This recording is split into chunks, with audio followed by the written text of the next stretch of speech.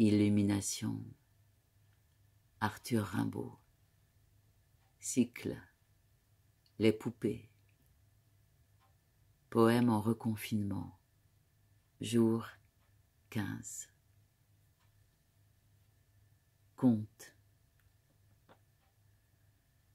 Un prince était vexé de ne s'être employé jamais qu'à la perfection des générosités vulgaires il prévoyait d'étonnantes révolutions de l'amour et soupçonnait ces femmes de pouvoir mieux que cette complaisance agrémentée de ciel et de luxe. Il voulait voir la vérité, l'heure du désir et de la satisfaction essentielle. Que ce fût ou non une aberration de piété, il voulut il possédait au moins un assez large pouvoir humain. Toutes les femmes qui l'avaient connu furent assassinées. Quel saccage du jardin de la beauté. Sous le sabre elles le bénirent. Il n'en commanda point de nouvelles. Les femmes réapparurent.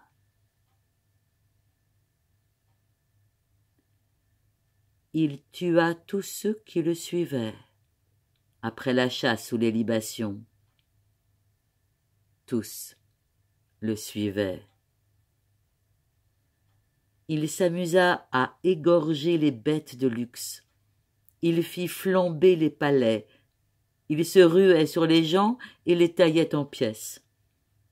La foule, les toits d'or, les belles bêtes existaient encore peut-on s'extasier dans la destruction, se rajeunir par la cruauté. Le peuple ne murmura pas. Personne n'offrit le concours de ses vues. Un soir, il galopait fièrement.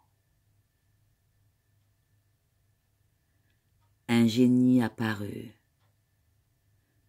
d'une beauté ineffable, inavouable même. De sa physionomie et de son maintien ressortait la promesse d'un amour multiple et complexe, d'un bonheur indicible, insupportable même.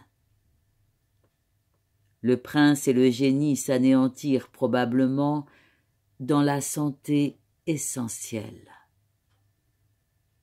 Comment n'aurait-il pas pu en mourir? Ensemble donc, ils moururent.